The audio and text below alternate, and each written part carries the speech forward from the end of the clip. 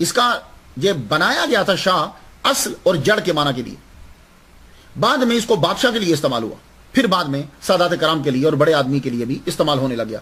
तो शाह आलम आलम जो है, इसका माना जहान होता है। और इसका माना वो दौर होता है जिस दौर में गुफ्तगु की जा रही है। उस दौर को भी कहा जाता है, जमाने को भी। तो शाह आलम आलम का माना जहान है कि जहाँ के ये बादशाह है। अब सवाल यह कि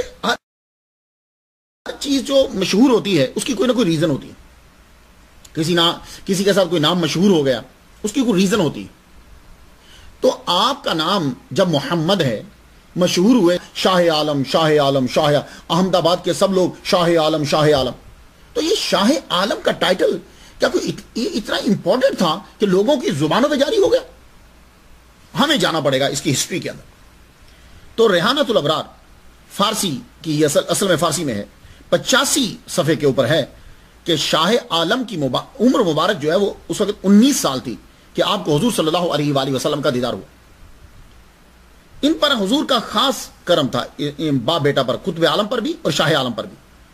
तो उन्नीस साल आपकी उम्र है हजूर वसल्लम का दीदार हुआ।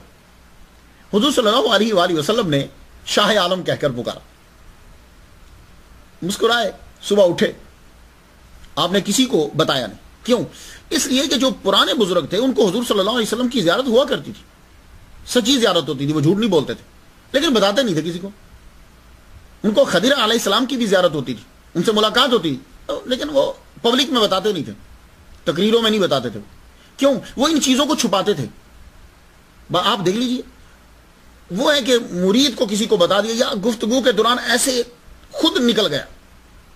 ऐसे ही निकल गया। तो लोगों ने जाँच लिया कि यह बात यह है। अदरवाइज़ एक टॉपिक बनाकर वो लोगों को बताया नहीं करते थे। कि आज हजूर पाक की ज्यारत हुई, उन्होंने मुझे यह कहा नहीं, शाह आलम ने नहीं बताया।